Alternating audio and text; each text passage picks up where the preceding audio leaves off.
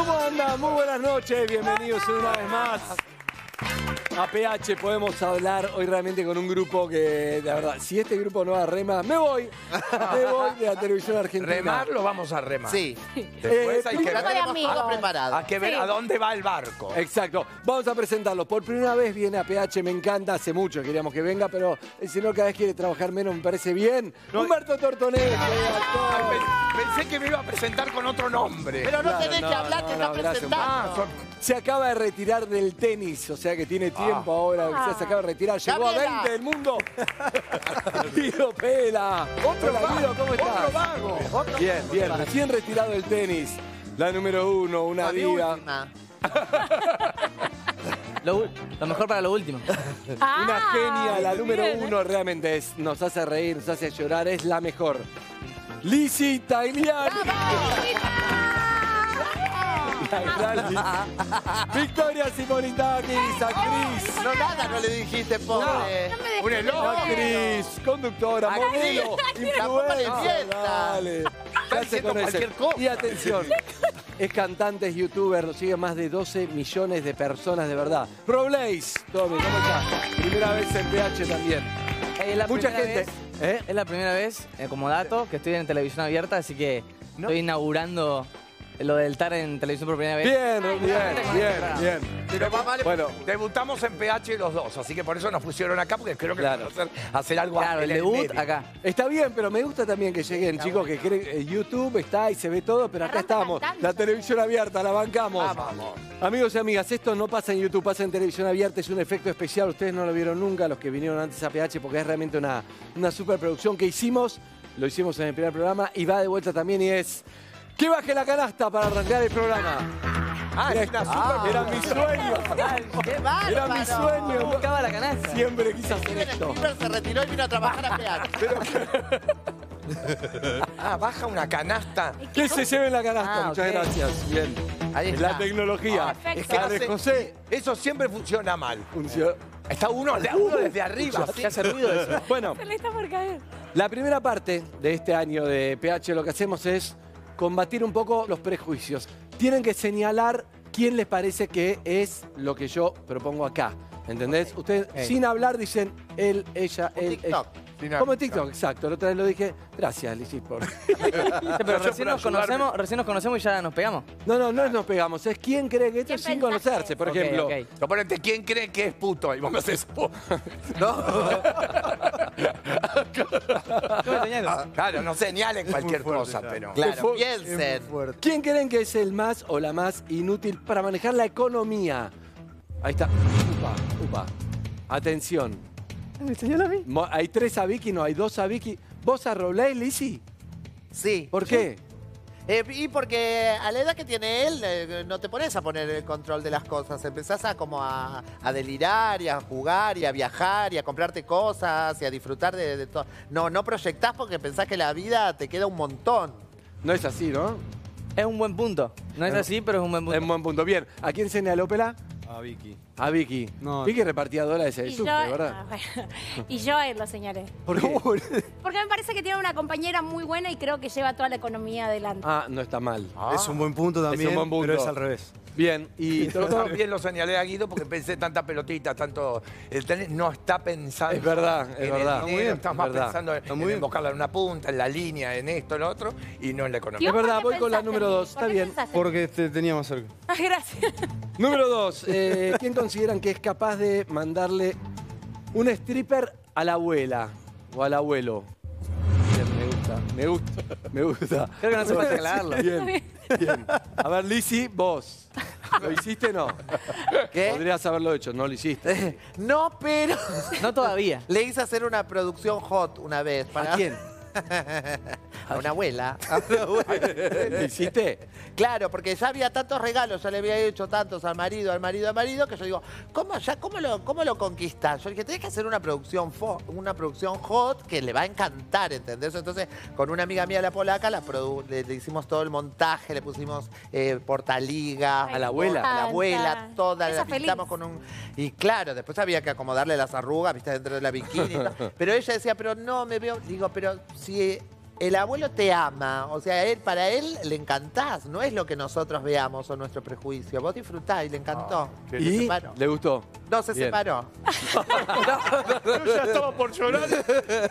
¿Vos, Vicky? Yo lo hice. Ah, vos lo hiciste. Yo lo hice, le llamé a mi abuela ya en, en los últimos momentos cuando estaba por partir. Ella decía que quería conocer a alguien, quería volver a ponerse en pareja. Y yo dije, la quiero sorprender a mi abuela. ¿Y? Y dije, no tiene, para el amor no hay edad, quiero darle una alegría. Entonces encontré un diario y ahí eh, decía, Kevin, te baila el strip. Y dije, bueno, va a ser un momento inolvidable para la abuela. Y lo llamé. Sí, lo llamé, pero bueno, no bailó lo que decía en el diario, le terminó bailando el ACRG. Sí. Y le dije, Kevin, no es lo que yo quería que le baile. Pero fue un momento re lindo, pero fue un stripper que lo bailó y todos nos reímos con la abuela. Estuvo bien. está También bien. después falleció. Claro. Bueno, Pero está bien, pero no pero es culpa de Kevin tampoco. Para el amor no hay edad. para Ella el me lo amor regaló a Sebastián. Sí, es verdad. Edad. Uno joven me trajo para... Bien, eh, seguimos. Eh, número 3. ¿Quién piensa que le, le espía el celular a la pareja? Ay, qué horror. Que le mira el celular a la pareja. No. Bien. Hay que apuntar a alguien. Ah, sí o sí. Ah, sí, o sí. Atención. Ah, ah, tenemos tres a Ro- Robley. ¿Está en pareja Sí, Robley? sí. Yo tengo tres. ¿Tres? ¿Por qué? ¿Estás pa- ¿Estás en pareja Robley? No. No. Bien. Por eso lo señalé. Vos lo señalaste. ¿Vos? Yo, yo sí espío, pero no me voy a acusar yo sola. Claro. No, pero yo te apunté. Sí, yo sí. Yo soy una hacker del, del celular. Eh, Pela, ¿no? ¿No es celoso? No, a él, ¿yo? Sí. No, no mirás. No. Yo no, no, no. No Y porque es no para te mira hacerse tanto. mala sangre. Claro. Claro. El que busca encuentra y creo que es Y es verdad, el que real. busca encuentra. Eso es verdad, eso es verdad. Yo no soy celosa, yo soy chusma. Bien, ¿quién considera que es capaz de colarse a una fiesta? Colarse a una fiesta, ¿alguno? ¿Alguno de ustedes no? Sí. Sigo. Ah, ah, ah, Bueno, sí, yo he entrado a una, a una fiesta, eh, me acuerdo que era eh, de Rocío Guirao Díaz. En, Ah, en el de colado. Rocío Guirao Díaz. No. Rocío Guirao Díaz. Rocío.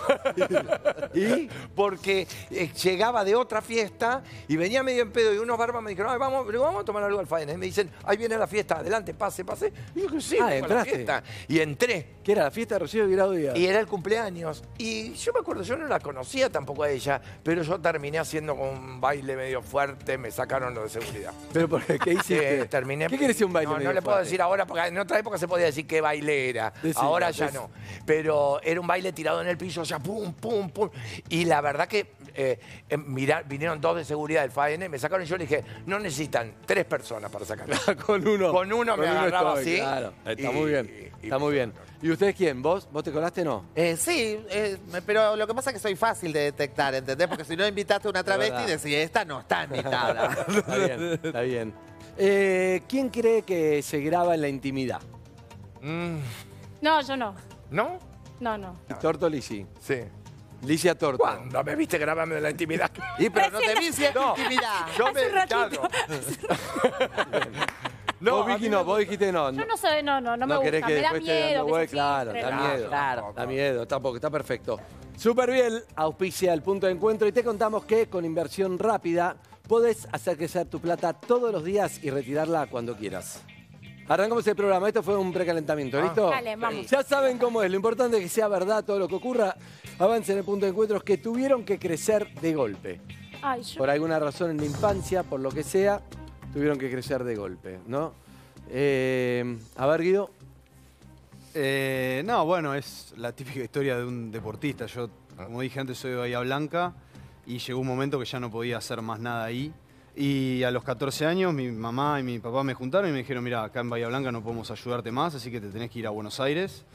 Eh, Imagínate, o sea, para un nene de... Yo tenía 14 años en ese momento. Me acuerdo que me subí a un colectivo de Andesmar un domingo a la noche y llegué a Retiro solo. ¿Solo no te buscaba nadie? Eh, me buscaba la señora, pero bueno, vieron cómo es retiro, o sea, no, no es fácil llegar, estacionar. Me acuerdo que la, me quedé al lado del colectivo, así sentado, con un miedo tremendo, porque imagínate llegar a una ciudad como Buenos Aires con 150 millones de personas. Y no te pudieron acompañar tus viejos, era como te, te Y no, mandar. ellos trabajaban y la realidad que nada. Y ahí me di cuenta que qué duro que es el mundo, qué difícil que va a estar. Y creo que esa experiencia fue la que me marcó y me hizo ser lo que soy y darme cuenta de que si no me bancaba eso, el sueño del tenis, Claro. imposible. Y te sirvió. Saque. Claro. No, pero está bien. Eh, pero qué, ¿y qué? ¿Y las primer, el primer mes, los primeros dos Estuve meses? dos semanas llorando, Claro. dos semanas enteras llorando. Me acuerdo que las primeras dos semanas llamé a mi mamá y le decía, me quiero volver, me quiero volver, me quiero volver.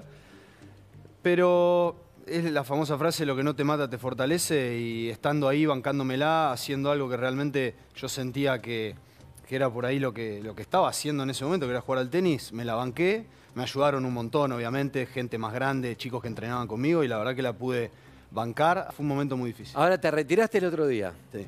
Pero eh, lo que le pasa a un tenista también es que a muchos le pasa, ¿no? A todos terminás odiando un poco el tenis. Sí, o sea, no- es muy, muy fuerte la frase odio, pero mira, el tema que yo entreno desde que tengo 8, 9, 10 años. Claro. Entonces es una vida, nada más que ahora con 33 y con toda la vida por delante tengo que encontrar algo que hacer porque Pero igual hoy haces otras Disfrutá. cosas, ¿no? hoy no, Con nada. las redes re- sociales, con tu mujer. Se retiró el otro día. ¿Disfrutaste del tenis? ¿Por qué es lo que soñabas? ¿O era un mandato familiar y lo hiciste pero no terminaste de disfrutarlo? todo lo que te gusta, todo lo que uno arranca por, por placer o porque realmente sentís que te gusta, eventualmente se transforma en un trabajo.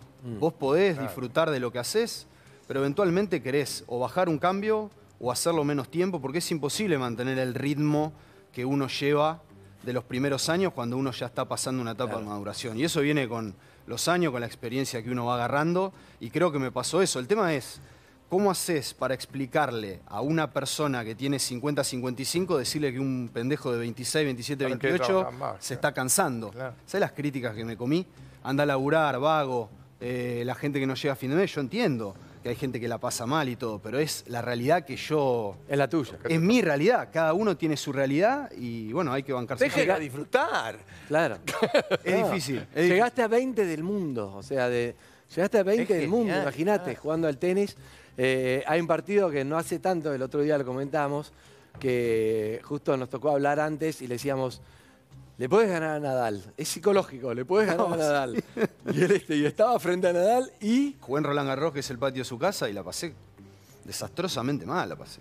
Ah. Fueron dos horas de partido de un sufrimiento, porque no podés abandonar, no podés retirarte. creo que te querés ir a tu casa.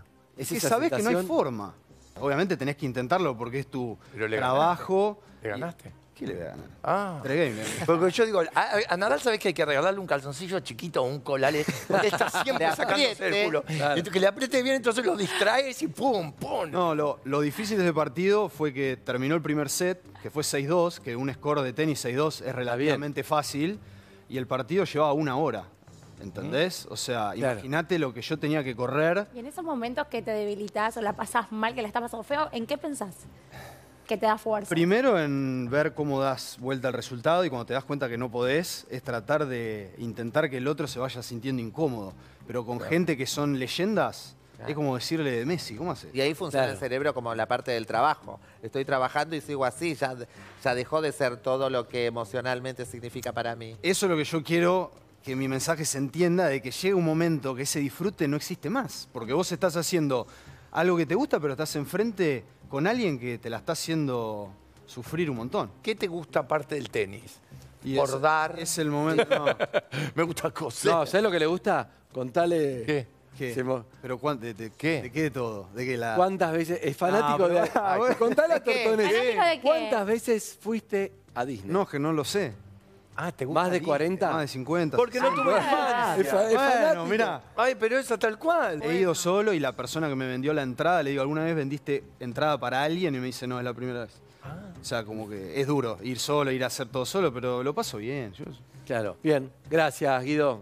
No, quédate, quédate, quédate Ah, igual. O puedes volver a tu lugar como quieras. Eh, ¿Quién sigue? Robleis. Eh, dale, yo, bueno, fue cuando más que nada lo que me pegó de por ahí crecer de golpe. eh, es algo que puede ser una pavada, pero para mí en su momento, en el proceso de maduración, pasar la adolescencia, todo eso, yo empecé como a los 11, 12 años, ahora tengo 24, eh, con todo esto de internet, las redes sociales, la exposición, por así decirlo. Y en 2016 fue cuando me di a conocer. Pero la primera que hicieron fila para, para un autógrafo en el supermercado no podías creer, ahí te diste cuenta que te conocían. Ah, bueno, una anécdota que tuve en, en justamente el supermercado de Olavarría es que me pasó que yo estaba haciendo las compras con mi mamá, tranquilito, llevando todo al carro, esto que el otro, y cuando vamos a la caja, había la puerta que se que corrediza, había una cola, en, o sea, una cola no sé de cuánta gente, quizás que de 35 personas, afuera del supermercado viéndome como yo hacía las, la- Vos, las lo de la caja, como pasando Ah. el flan, pasando el coso, pasando la leche, pasando el agua. Tipo, así en la caja y tenía una, una cola, una fila de 35 personas más o menos queriendo sacar una foto conmigo. Me llevó una sorpresa, más que nada, porque nunca me había pasado hasta ese momento Sí. lo de, lo de tan, tanta euforia, ¿viste? O tanta cantidad de gente, porque se empieza a divulgar de que yo entraba ahí al, al Walmart de, de la barría y era como, uh, está coso, está coso. Y empiezan a como a hablarse entre ellos y bueno, terminó haciéndose una fila ahí de, de gente afuera del ¿Y supermercado. por qué que crecer de golpe? Que te. Eh, sí, más que nada, bueno, eh, yo tenía 16 en su momento, 17, que fue cuando me di a conocer más o menos. Y mm, bueno, me, me pasó que empecé a decirle a mis padres, che, mirá, eh, gané esto con un, con un video en su momento. Eh, che, mirá, gané esto en su momento. Pasando un mes, después pasaban dos meses, después pasaban cinco meses. Cuando me quise a ganar plata con los Empecé a ganar un montón de, de plata con eso, obviamente, eh, que en su momento mis padres habían entrado al Veraz. O sea, ya estábamos en una situación un poquito complicada en la casa y era como que llegaba mi familia a la casa, era todo un estrés, era como pelea, porque justamente mis padres siempre me intentaron dar todo a pesar de la situación. Entonces como que se endeudaban para que nosotros tengamos todo lo que, todo lo que necesitábamos. Eh, y bueno, fui como básicamente trayendo plata a la casa sin darme cuenta en su momento, haciendo algo que me divertía. Y cuando me quise acordar, eh, pude sacar a mis padres de las deudas, todo, y fue como algo que, como digo, puede ser una pavada más que no, nada. no, no, pero porque- te transformás como en el papá de tus papás en un Es punto. genial. ¿Y tus viejos te bancaron? ¿Eh? ¿O tus viejos te bancaron al principio les costó?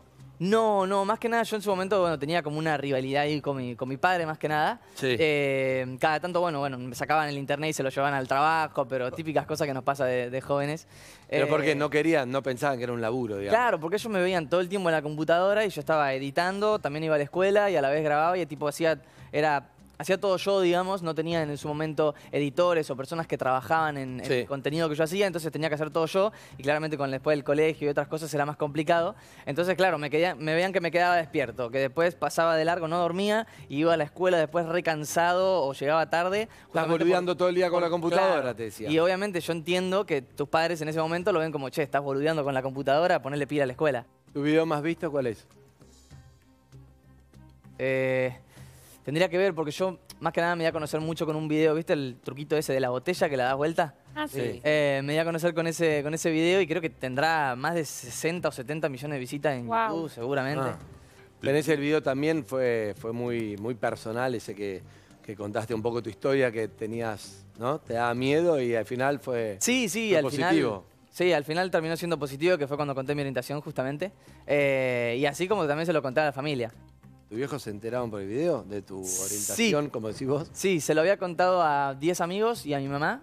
Y después hice el video para que se entere toda mi familia. Le contaste al mundo. Sí, no quería ir uno por uno diciendo, che, mirá, me pasa esto, che, mirá.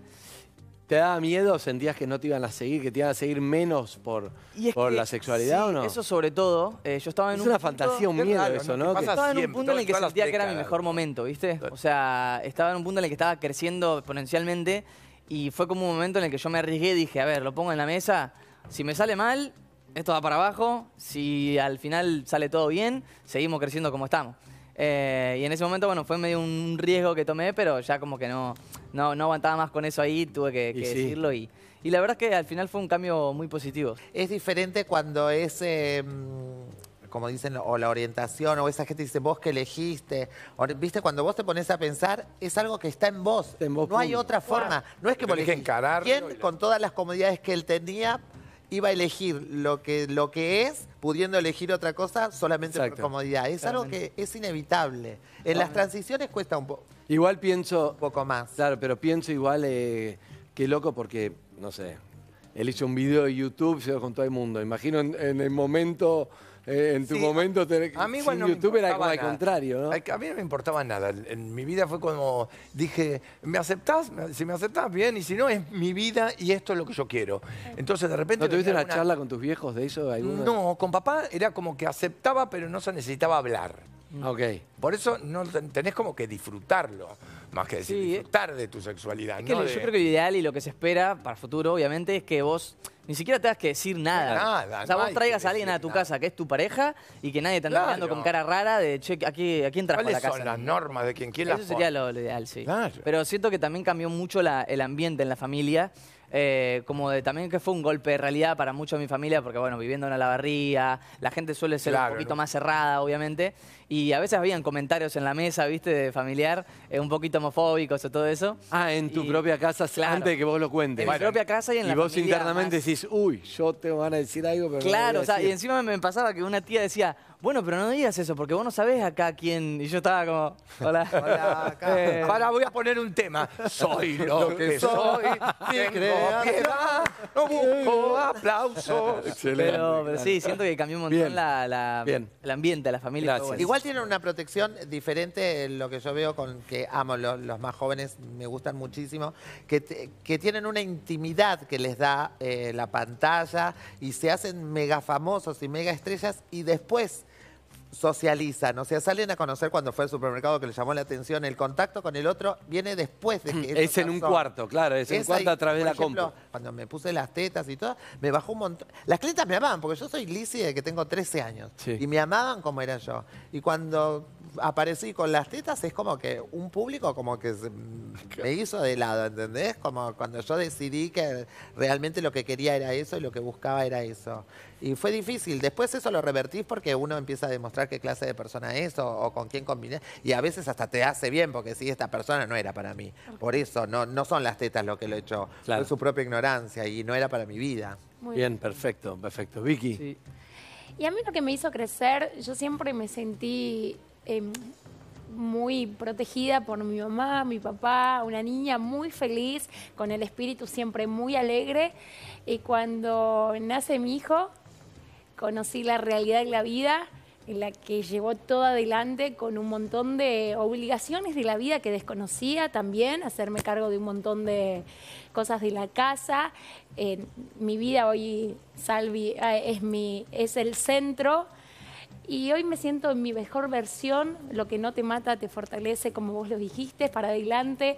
Siento que esa niña no perdió la alegría, pero se convirtió en mujer. Me siento con mucha fuerza y parece una frase, pero hoy lo digo, me siento como empoderada, que puedo llevar todo adelante, que hay un montón de obstáculos y los pude, los pude lograr y los pude haciendo y quiero, bueno, que, que esté feliz de la mamá que le tocó. Así que crecí. Excelente, bien, me gusta. Gracias, Vicky. Soy mamá. Gracias. Es lo más lindo de la vida, pero el trabajo más trabajoso, porque no hay fin de Bien. semana, no hay feriado, no hay vacaciones. Chicos, no hay nada. Por 40 años. después Avanza en ya- el punto de encuentro, seguimos, ¿eh? avanza en el punto de encuentro los que encontraron su pareja ideal.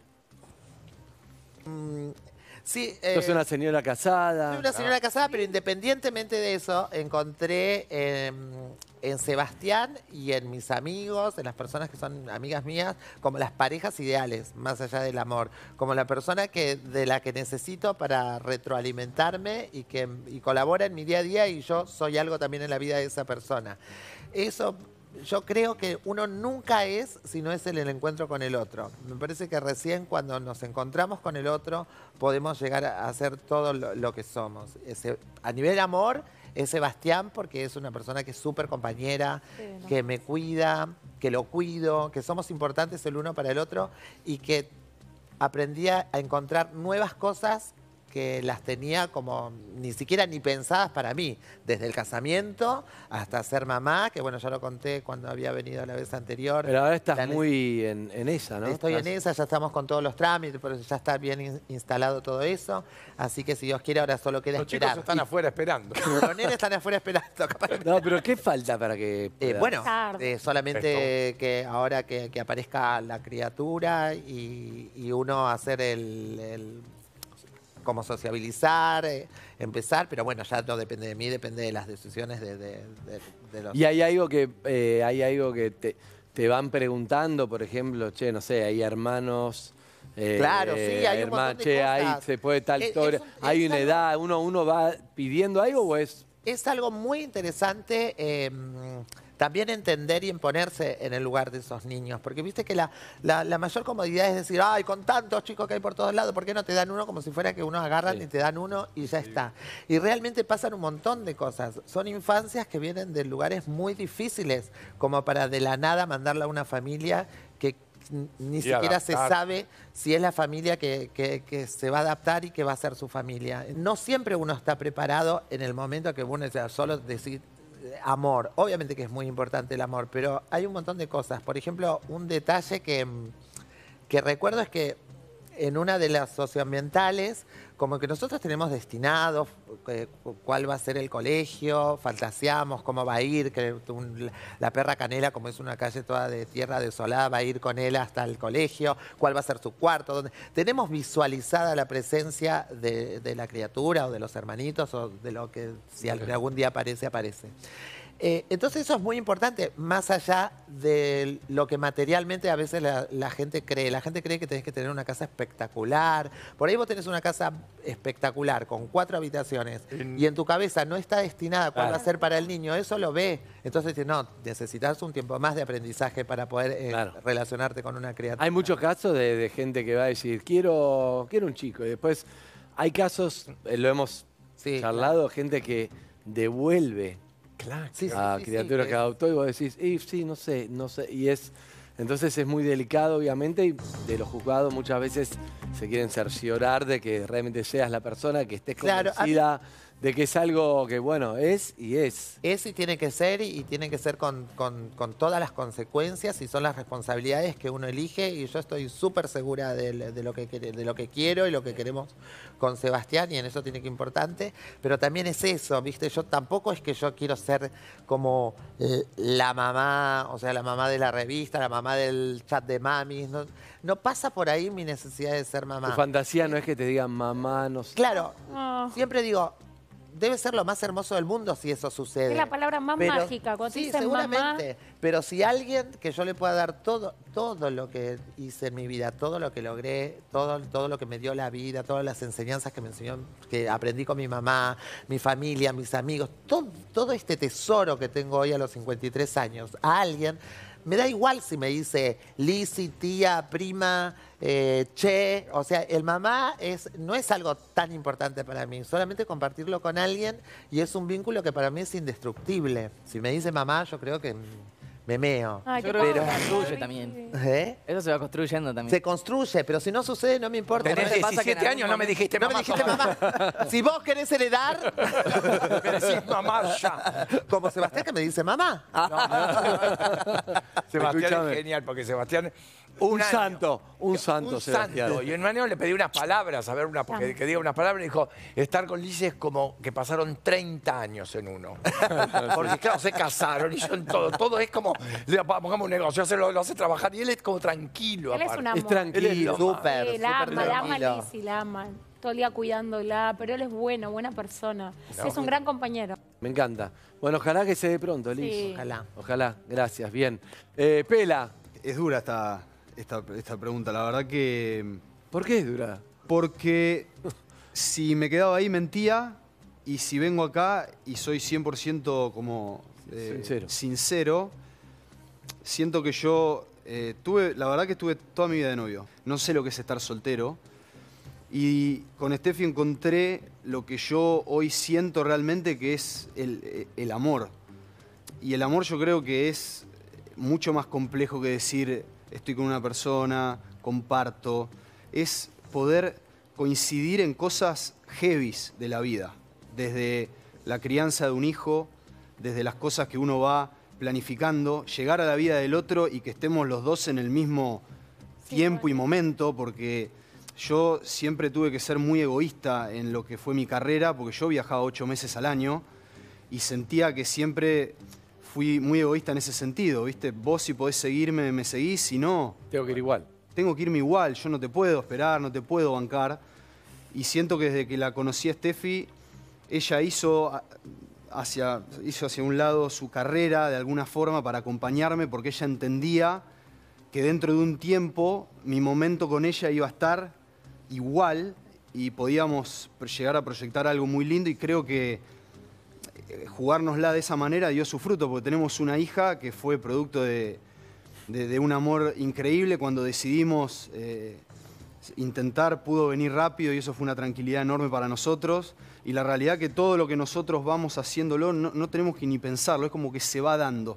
Pero sería un hipócrita Sí. decir que eso va a durar toda la vida cuando yo no ¿lo sabés? sé. Me encantaría, daría hasta lo que no tengo por envejecer con ella porque siento que me completó en un montón de cosas que yo sentía que no era completo Pero bueno, vengo acá porque digo que hoy es, mañana ojalá, pero no. Qué lindo Qué es. lindo qué lindo. No, no, Vicky. dice. Aplaudamos. Ay, Ah, no era, no era para Eh, aplaudir, pero- eh.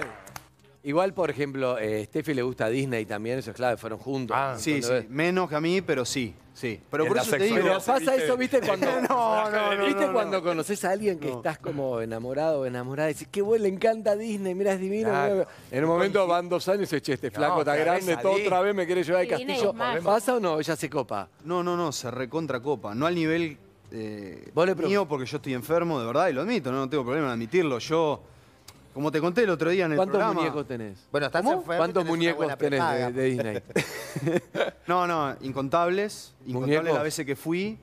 Y yo ya me siento un. Nada, de, de la casa porque reservo el parque que quiero el día anterior, me meto en el juego que quiero hacer, me meto en el parque, lo hago al buenísimo. juego y me voy. ¿Ustedes se casaron ahí? No, pero, No, le, no, no nos pero le casamos. propusiste casar. Sí, hace. En el 2019 fue el problema que nos vino la pandemia. ¿Pero dónde le propusiste? ¿En el castillo? ¿En la montaña rusa? ¿Dónde? Disney. ¿En No, qué parte? eh, cuando vos entrás hay una plaza muy linda en esa plaza. ¿Y qué fue Sí. lo que más te enamoró de ella? Que, que decís, ella es el amor de mi vida. Eh, yo lo, lo primero que le dije cuando la conocí fue, necesito sentir amor de verdad. Y creo que ella, más allá de obviamente que nos amamos un montón, tiene una intensidad que me contagió. Yo no era una persona intensa. No, no me, imagínate vivir solo toda tu vida, que vengan y te cargocen. Era algo como que salí, pero como con ella salió todo, como dije, es todo muy... Fluye. Fluye, fluye, fluye. Y creo que ella es una compañera Bien. increíble. para mí. Ah, ustedes, tampo- tampoco son intensas, vos, Vic. No, yo No, no, para para nada. nada. Nada, son súper relajados. Pero es linda la frase, yo no molesto. No A mí me molesta. gusta. Bueno, a- yo no molesto, es verdad. Guido, no, nada. La- las pocas peleas fue por eso. Yo no molesto. Yo no molesto. Estoy acá parado. Las pocas peleas es por eso. Está bien, vos no molestás, pero no haces nada tampoco. Ah, ah. ¿Entendés? Vos no molestás, pero no te molesta la ropa sucia, los platos No, cuando. Digan, me molesta el ruido de tus pensamientos, ahí agarra. Agarrate, preocupa. Pero bueno, no, no, bien, la verdad que... que- Sebastián también es ese estilo de. no sí, molesto, Sebastián no, es lo que- súper calmo, súper. Yo no. Está muy bien, está muy bien. Para, y. No, Vicky. Yo no, no, no ¿Estás conseguí. sola, Vicky? Eh, sí, estoy soltera. ¿Estás sola? Sí, re soltera. ¿Y dónde conoces? ¿Dónde tienes salidas, Vicky? ¿En aplicaciones? ¿Te No, presentan? no, aplicaciones no. Es cuando se da. No, pero si vos estás siempre Por laburando, ej- conoces acá. No, viste, eh, el día a día, viste que te podés ¿Qué es el- flechar. La conozco a Vicky en el, en el chino. Tengo Claro. chance, si te hable, te hace reír. Sí, si ¿o no? macheamos, viste que se usa esa palabra ahora, como es de las redes. El match. El match, va. Bien. Pero eh, eh, estoy muy criando y trabajando. Sí. Muy poquito, voy con Liz. y Pero salimos Lizy, vos me algunas veces entendés. a Tiene, comer. sí, sí. hay- Pero- alguien conoce, sale o cuando no. salgo me Lo que divierto pasa con es mis amigos. eh, Yo no te soy iba a decir, como de tiene una, levante. una particularidad que lo, que la conozco es que ella es su baby, su función de mamá y sus amigos. Es como, tiene una pasión por, por las relaciones de los amigos y por la de su hijo ni hablar, que entonces lo otro... No, no me atrevería a, ser, a decir secundario, pero porque se tiene que dar, porque también es lindo de que, que logre ser feliz y tener una pareja y una Me relación y poder estar acá y, y hablar de la misma manera que habló él en algún momento. Está bien, pero no Steffi. conoce gente para salir, no te divierte No- cada no tanto. soy como, no, no, a mí me gusta sentir algo por la persona para poder estar. No te gusta- no es casual, me- casual Por no. ahora me cojo al portero, nada más. Porque cada vez que, cada vez que lo veo, lo entro, pum, pum. Y es- Solo porque No, lo tengo a no mano. Lo soy de sentimientos, soy como más de, de conocer a la persona, pero hoy estoy muy en- de, muy mamá y trabajando. Pero alguien y te cuando tengo una tiempo, amiga. mis amigos. Yo quiero saber, una amiga te presenta, por ejemplo, un Y si amigo, me gusta, un amigo de Sebastián, capaz citas voy- ciegas. Capaz citas voy a ciegas. comer, no, ciego nada. Capaz voy a comer, no, no, me gusta ver todo. Ah. Eh, capaz si voy, capaz si alguien me gusta un poquito, puedo ir a cenar, me doy ese primer primera cena y después veo si me, me ¿Y quedo hay una un fantasía de la hay que ser un empresario exitoso? No, te No, no, cualquiera. no, cero. No tengo, esa- esas no son mis fantasías. No. Otras pueden ser, pero esas no. Esa no, claro, por eso. No, no te importa. No, me enamora, bueno. no busco por, eh, por profesión, busco por persona. Bien, bien. Y que esté bueno. Ay, sí. Bueno. Pero si toca empresario, mejor, te digo. Bueno, gracias chicos, seguimos, seguimos, seguimos. Avance a punto de encuentros que lograron convertir la tragedia en comedia.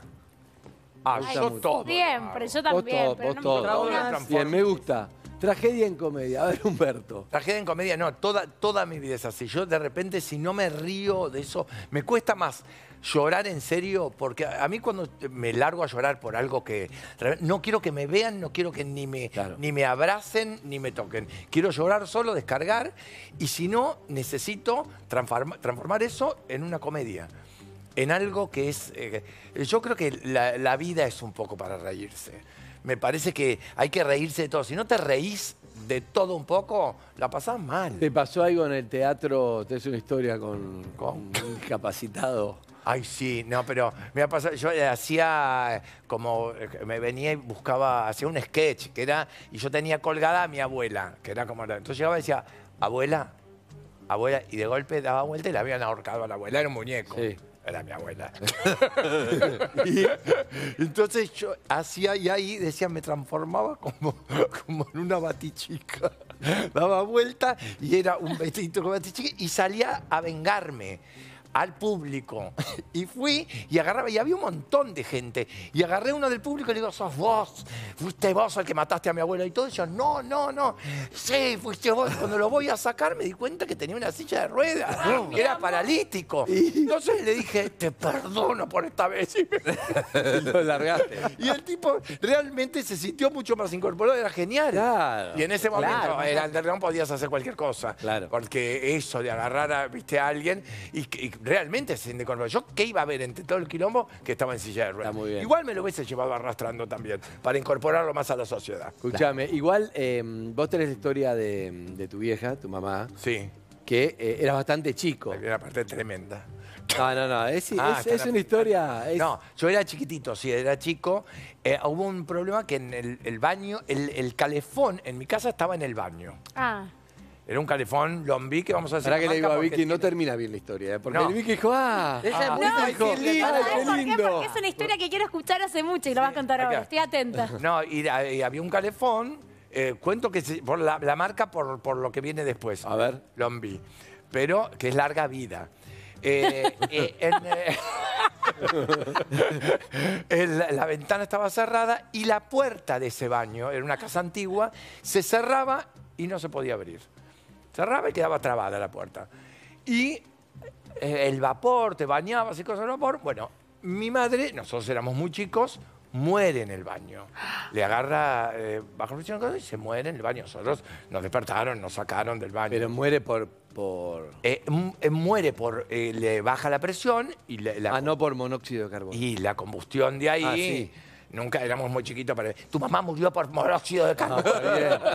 No, porque no entendía lo que tenía que ver No, el no me calefón. explicaron muy bien de chico cómo. Si era mi mamá, te lo hacía. te lo Sí. digo.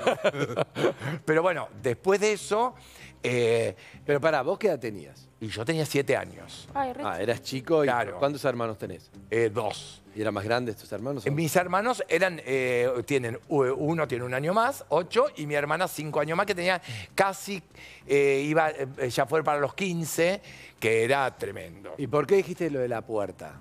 Porque la puerta después quedó abierta, nosotros no, después de eso siguieron pasando. ¿Pero vos estabas ahí en la casa? Yo estaba en la casa. Después cuando la sacaron yo no la vi. Pero yo venía del colegio y me decía, fíjate a tu hermano, siempre el problema era el baño. Fíjate tu hermano que está en el baño.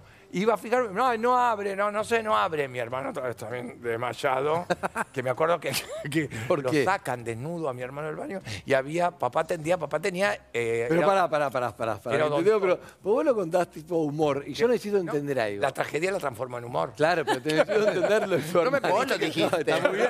No, no, me encanta, pero quiero entenderla. No es que no me quiero reír, No, pero primero iba- quiero entender. eh, podía haber más- ¿quién estaba en la casa? ¿Estaban todos o no había nadie? Todos éramos una ¿Y familia. que de golpe entraste a la puerta y no, no, la vieja, no, yo no la vi. La- ¿Quién la vio? ¿Quién la encontró? Y la debe haber encontrado, creo que mi hermana. Por eso los ataquecitos después, a lo- le salieron a lo- después, a los cinco, a los... Eso no te acordás. No sabía, decía, hay que mandar al psicólogo, hay que mandar al psicólogo. Pobre chica. sí, pobre. Y sí. Andre- Andreita la encontró y sí. muerta. Y, entonces, a partir de ahí, el baño terminó y el siendo- baño terminó primero también. Después mi hermano también le pasa lo mismo. Ah, ah, le pasó lo mismo. Lo mismo, pero no muere. Pero, lo sacamos. No, no muere.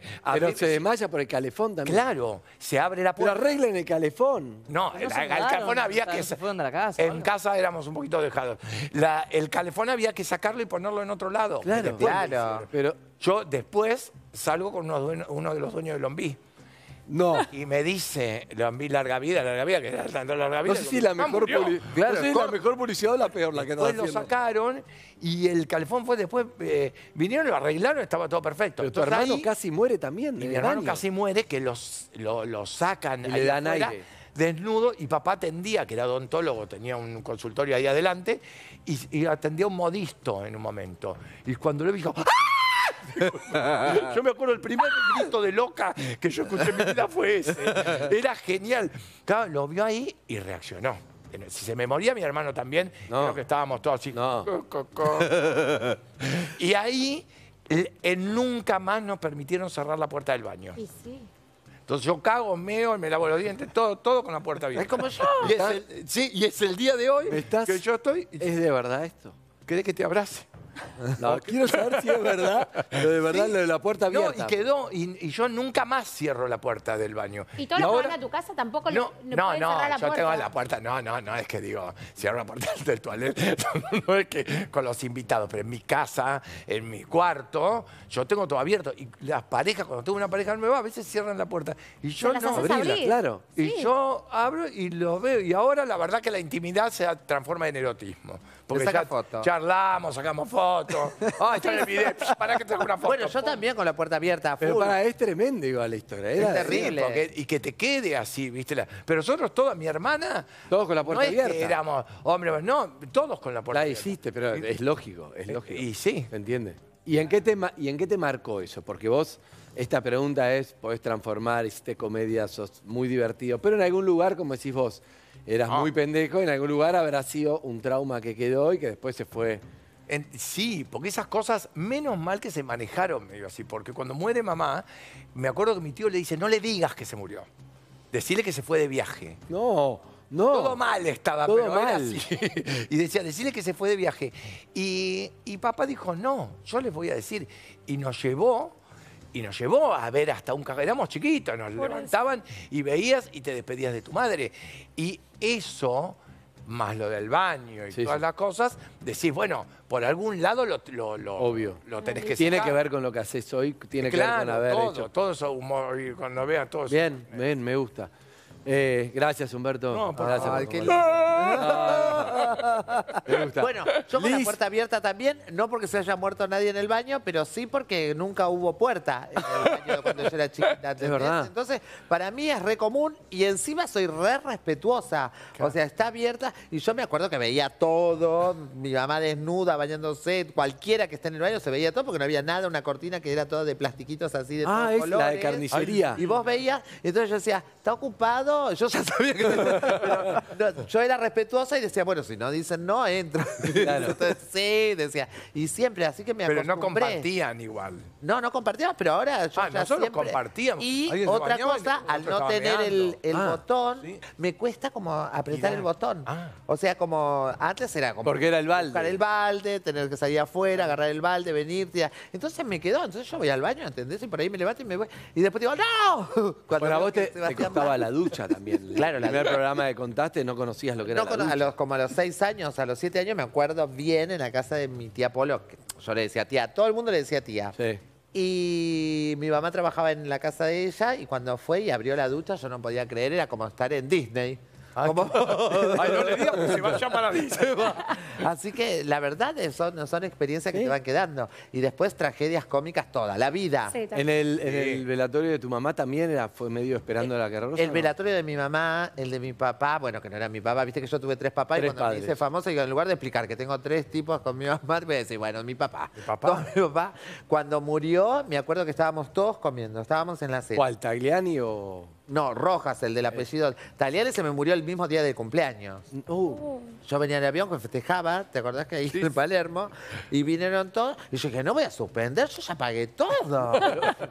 Pero se murió tu papá, ¿cómo no? Pero bueno, puede aguantar si ya está muerto. Ya está muerto. Y encima había todo un coso, un homenaje a él. Pará, ¿lo hiciste? ¿Me estás jodiendo? Claro. ¿No lo suspendiste? Y pasaban los, No. te- te- escuchá, ¿te acordás que estaban los robots LED así? Pasaban así y yo le decía, hice algo tranqui por lo de papá.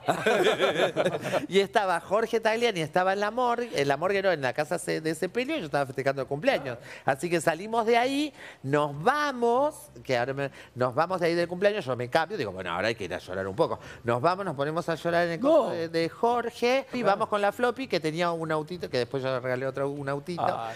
Nos subimos al autito que tenía en ese momento y éramos dos maestras rurales yendo atrás del coche fúnebre con el cajón, ¿entendés? Las dos solas, porque no había nadie, Jorge, una historia familiar que, bueno, yo no me voy a meter en eso. Íbamos para el cementerio, nadie, una desolación, yo famosa, mi amor, yo, yo, yo soñé con que todos mis muertos de que soy famosa salían en todas las revistas, todo, ¿no? yo ¿Y? materializo todo. Entonces vamos... Y vamos las dos horitas atrás del, del muerto y en uno en San Martín y la avenida Hipólito Yrigoyen para que quiera checar hay un semáforo donde se puede doblar a la izquierda que vos encarás para calzada y te vas para el cementerio. Entonces, cuando frenamos ahí que estaba en rojo la flecha para doblar, se arma una fila de autos. Entonces yo digo, Floppy, hace una historia. Como que era la caravana. y hace una historia con una caravana Que para no el entierro de Jorge, que no era, porque cuando No. cambió el semáforo nos pasaban todos. No. Y eso Era vos sola con la flor. Claro, y Tremendo. nosotros sola con la Pará, Floppy. ¿y, y tu mamá qué pasó en la peluquería? ¿Era qué pasó? Ah, no, eso es una clienta. Ah, ¿qué le Estábamos- pasó? eh, estabas yo tenía la peluquería, viste que en la peluquería en Recoleta, el paquetísimo barrio de la Recoleta, donde todas mis clientas tienen entre 80 y la muerte. Un día estoy un martes, entra una clienta mía, que no voy a decir el nombre porque estamos en televisión, y dice, hola Lizzy. 80 96 años tenía la vieja. Entonces yo digo, hola Leila. Leila, dije. Ay, sí. Ya todos la conocen. Bueno, digo, digo, decime, ¿qué necesitas? Quiero un. ¿Estás bien? Sí, por. No, por verde estaba la vieja. Entonces yo agarro y le digo, decime, ¿qué necesitas? Quiero un túnel. Sí, claro, obvio. Agarro a la gente, empiezo a buscar, le digo, Leila, ¿vos te podés quedar ahora? Le meto el dedo abajo de la nariz a ver si respiraba. Había que ganarle a la muerte. La peino todo, muere la vieja Leila. Vamos todos al velatorio. ¿Dónde muere? Muere, No, no, muere en su casa. Ah, en la Sí. entendí. Entonces vamos, me avisan que muere, vamos todos al velatorio. voy- Viste que los muy ricos y los muy pobres vel- velan en sus propias casas. Entonces, cuando llego, estaba divina en el cajón, 500 metros cubierto del departamento, hermoso. Bueno, entra un señor, después de que lloramos un poco, y dice, vamos a cerrar el cajón. Que los hombres agarren el cajón.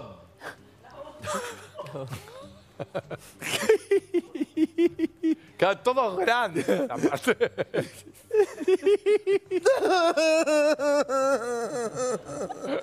Dice, Lizzy. Le digo, sí, Roberto, estoy destrozada. ¿No me das una manito? Dice, cinco pisos por escalera. No, no. Llegamos a la calle Vicente López, yo miro para un lado, miro para el otro y le digo, Roberto, la bajamos muy rápido, todavía no llegó el cortejo. Dice, ¿por dos cuadras querés cortejo? No. Caminando con la muerte hasta el cementerio No. de la Recoleta. Cargando. Como que íbamos de shopping. Fue espectacular. Por la calle. Por la calle. Que no, me deja mentir al restaurante de la esquina que la pasamos, porque la paseamos donde ella comía todos los días, la paseamos y decíamos, hola, al de Rodi. Le dijimos, El hola, acá está la Leila. Sí, te juro. Claro. Ay, ella tomaba acá y pasábamos todo y saludos. Se reusa, se, Qué se ve que se lindo. usa. Y así que llegamos ahí. Eso fue genial, estuvo bárbaro. Bueno. Lizzy tiene una especial muerte. Ah, tiene especial que- sí, que sí, se son un montón. Bueno, yo te cuento lo de mamá, porque no sabes qué van a hacer. lo de mamá Por es favor, así. te lo pido. Yo, mi mamá, pobrecita, tenía un cáncer, la operaron, yo un día la llevo de urgencia, mi tía Lila me dice, internamos a tu mamá. Bueno, la operan, le dice, no hay nada que hacer, llévensela a su casa, la llevamos a mi casa y se iba a morir en cuanto antes. Entonces agarro y voy y le hablo a una cochería, le digo, mire, mi mamá se está por morir, yo quiero dejar todo organizado. Yo estoy en el cumpleaños de Jorge Ibáñez, que era el 6, pero lo hace el 8 de diciembre que muere mi mamá, y mirá qué increíble, está Cecilia Milone cantando un tema, un tango de Libertad Lamarque, y en eso mm, me llega un mensaje, que recién era mensaje de texto, no había de- todavía WhatsApp ni todo eso, y que había fallecido mi mamá. Mientras mi mamá era fanática de Libertad Lamarque, en el mismo momento que Cecilia Milone estaba. Entonces, bueno, punto aparte, otro tema, otra anécdota aparte, agarro, no dije nada, digo, no voy a cagarle la fiesta. A mí no me gusta cagarle la fiesta a los demás con, cosas mías, yo trato de arreglármela sola. Me voy para mi casa, llamo a la cochería, la cochería dice, quédese tranquila que nosotros lo solucionamos. Bueno, bárbaro. Entonces, a las nueve dice, la vienen, la buscan, se la llevan. La llevan, la ponen ahí, a las nueve me avisan, me dice, bueno, pues ya pueden venir acá. Bueno, yo voy, agarro, voy, lloro. Y dice, ya váyame al médico que le atendió toda su enfermedad para que le haga un certificado de defunción. La defunción. Entonces, agarro, llamo por teléfono y digo, mire, mi mamá se murió, necesito... Dice, quédese tranquila, ¿y quién está solucionando? No, yo, porque ya sabía, dice, por favor, cálmese, no hay nadie que la pueda ayudar, este es un trámite sencillo. La de la emergencia, que era fantástica, muy, muy amorosa. Entonces yo digo, ¿y su mamá dónde está? Yo digo, mi mamá está en la, en la cochería. ¿Cómo en la cochería? no puede. Sí. Digo, la co- ah, pero no puede, dice estar en la cochería. ¿Por qué no Usted no- puede? Y porque no podés moverla del lecho de El- muerte. Claro. Ah, y ya muere estaba no en la podés. cochería. Y estaba en la cochería. El Dice, trámite usted- aceleró el trámite. Claro, no puede mover del hecho de muerte. Ah, yo digo, yo no tengo ni idea. Dice, llame a la cochería, hay que llamar a la policía, No. llevarla a hacer una autopsia, eh, la morgue, tiene que estar no sé cuánto tiempo. Yo digo, ¿qué? Corto. Llamo a la cochería y le digo, ¿me dice que hay que llamar a la policía? Porque dice, no llames a la policía. no llames a la policía, lo vamos a arreglar, vos no te preocupes, porque pobrecita, mi mamá sí va a morir, o sea, murió naturalmente. Claro, pero- Entonces, ah, yo digo, ¿y ahora qué hago? Llamo a una, una clienta mía y dice, no te preocupes, que yo tengo, dice, un, un médico. Comprometiendo gente sin Pará. Sí, por favor. No, porque yo sabía, no, tenían la historia Eh, clínica. no digas el nombre. No, tenía- podían ver la historia. El doctor. Podían ver todas las historias. Entonces, lo que dice, quédate tranquila, que yo te mando al cirujano con su historia clínica, o sea, iban a hacer todo, así que bueno, Baro, viene a las 5 de la tarde. Bueno, Baro, a seguir llorando, tomando café, sanguchitos, jugo, todo, nos, nos seguimos haciendo, la pinté, le, des- le- le despegué la boca, se la voy a pegar, hacíamos todas las cosas con la muerta. Seguimos ahí y a, a las 3 de la tarde me dice, Lizzy, te tengo que decir algo. Le agarró un infarto No. a nuestro médico, que ¿Al es el único. No, ¿y ahora qué hago? No. Me pongo a llorar, no, porque como que no aguanté más, ¿viste? Todo sola. Era algo como, digo, no, no, tiene solución, no, no, no, no podía más. Además era burocrático, vos estás con tu dolor Claro, queriendo cerrar una historia. Y ahí ya ma- mandaron un médico forense que chequeó todo, que haya sido por muerte natural, y bueno, y ahí la pudimos, ter- la terminamos enterrando. Era uno mismo que sacaron de la calle. Dijo, ay, Venga, este pasa". médico forense lo encontré en la esquina. Me encanta. Bueno, frente a frente, frente a frente. Dos de ustedes le- les va a tocar y uno le tiene que hacer Porque la somos todos de edades distintas. Yo soy el Sí, más sí, joven. eso, sí. Lo que toque el algoritmo. Bueno, vamos, señor director, cuando quiera. loca. Vamos. ¿Qué hace? Ah, Atencioso. Uy, me encanta. ¡Me Uh, encanta! Humberto y Ay, Vicky. bueno, me gusta, me, encanta. gusta. este. Vamos, Entonces, venga ¿Qué acá. hacemos? Vicky, venga acá, Humberto acá. Uno le tiene que hacer una pregunta al otro, pero hay hueso, ¿eh? No, sos feliz, no va. Es, hay hueso, una sola pregunta. Y responderse una vez cada uno al hueso, fuerte, vamos. ¿Empezás vos? ¿Sos feliz? Al hueso, ¿no era? Dale. ¿al ¿Quién hueso? empieza? Empezá. Si hubiese sido hombre, ¿quién te hubiese gustado ser? Mm, no me gustan las copias. Me hubiera gustado ser yo, pero en hombre. Ay, que es casi un hombre-mujer. Sí, todos tenemos algo de hombre. Pero una Sí, persona, que alguien que admires, Una persona Vicky. admiro- claro. Pero ah, ¿quién? Eh, eh, no Ah, sé. sí, ya sé como que. ¿Quién? Como. Marley. Como Mirá. Ale, sí. Bueno, es que Porque tenés lo algo. amo, es buena persona, es re graciosa y es un excelente papá. Tal cual. Sí, Y sí, es- y y soy es como medio él, pero mujer. Me encanta. Bueno, la Vicky. Ay, me encantó tu La pregunta. Vicky Marley. Somos medio familia nosotros. Es que claro. Sí, sí, nos conocemos por él. Y te adoro. Conmigo, sí, yo también lo amo. Pregunta Ah, de es Vicky excelente. para Torto. Eh, ¿Sos feliz? ¿Sos feliz? Siempre pregunta primero, ¿sos feliz? sí, yo te veo que sos muy feliz, pero ¿te arrepentís de algo en la vida? La verdad que como hice, mi vida la enfrenté como yo quise, no me arrepiento de nada.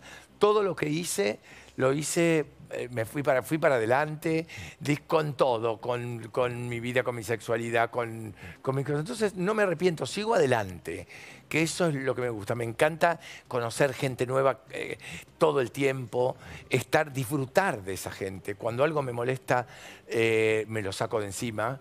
Pero la verdad que el- el- el- no, no me arrepiento de nada de lo que hice. Qué bueno, bien. Está muy bien, está muy bien. está Ay, muy me bien. abraza, me abraza. Sí. acá. ¿Eh? Termina y siempre Claro. buen abrazo. Bien. ¿Ahora? Pueden volver a Ah, está, ah, ya está, muy bien, era una está sola. Yo pensé que iba a Me ser gusta. la tarde. Bien. Bueno, no se arrepiente de nada y menos de lo que estás haciendo. Estás haciendo una obra hace tiempo ya. Eh, en realidad empezamos con una obra. A mí me. Esta vida media vaga que yo tengo, que me gusta hacer la cosa, cuando me ofrecen una obra de teatro, el 50% de decir sí es porque estés, eh, que esté cerca de casa. Eh, y cuando me ofrecieron hacer en el Regio eh, esta obra Basa, la leí y dije, bueno. Y la verdad que cuando la empecé a hacer no sabía qué iba a pasar. Basa. Y fue un éxito. Eh, un éxito de, de todo un año. ahí en el... Igual me costaba bastante, porque como en realidad me pasa eso, que cuando en el teatro y todo, lo- doy todo. Entonces no me importa si, si me quedo sin voz, si me duele algo y todo. Cuando estoy arriba del escenario, Lo das todo. me encanta darlo todo. Y ahora, cuando dijeron, bueno, vamos a hacerlo, vamos a llevarlo a Corrientes. Bueno, dijeron una vez por semana, dije, Pero te queda más, te tuviste que mudar. Me no, me tengo que mudar, pero ir una vez por semana es ideal. Si vos tenés que ir todos los días, No ya me empieza una cosa de aburrirme. Pero estás rompiendo, ¿no? Te, te va Sí, súper bien. Va muy bien. ¿En qué teatro? Y disfruto en el Metropolitan. Estás en el Metropolitan con Baza, que empezó en el. No, y de aparte disfruto de, de hacer ese personaje. Es, eh, es una madre con todo el carácter eh, de todo, que una impunidad total de putear, de hacer todo lo que quiere con un, un marido que se está muriendo y todos atrás de una herencia que no les importa nada y termina en un caos. ¿Y dónde consigo entradas? En el Metropolitan, O- eh, eh, Baza, eh, pasé por Plateanet. Plata. Bien, perfecto. Vete, verlo. Baza y- Guido en este momento no está haciendo nada.